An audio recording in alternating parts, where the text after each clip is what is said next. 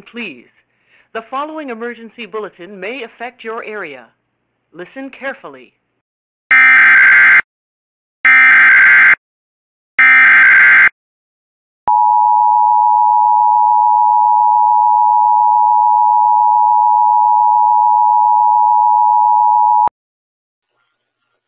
The National Weather Service in Amarillo has issued a severe thunderstorm warning for Collingsworth County until 6:45 p.m. Central Daylight Time.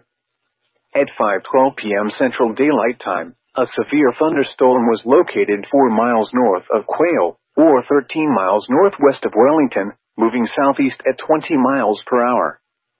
Hazard, tennis ball size hail and 70 miles per hour wind gusts. Source, radar indicated. Impact, expect some tree damage.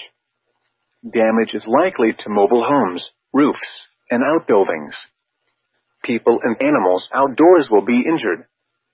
Expect hail damage to roofs, siding, windows, and vehicles. Locations impacted include Wellington, Dodson, Lutie, Quail, and Samnorwood.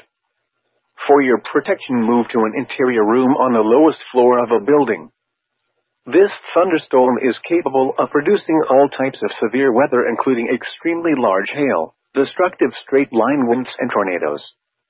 Move quickly to a safe shelter such as an interior room, a bathroom, closet or basement.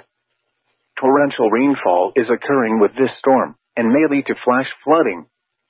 Do not drive your vehicle through flooded roadways.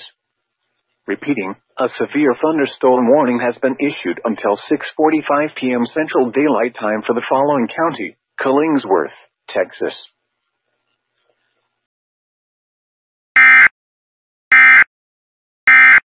This emergency warning message has been broadcast for your safety. If your area is affected, take all necessary precautions and listen to any local radio, television, or cable outlet for further updates.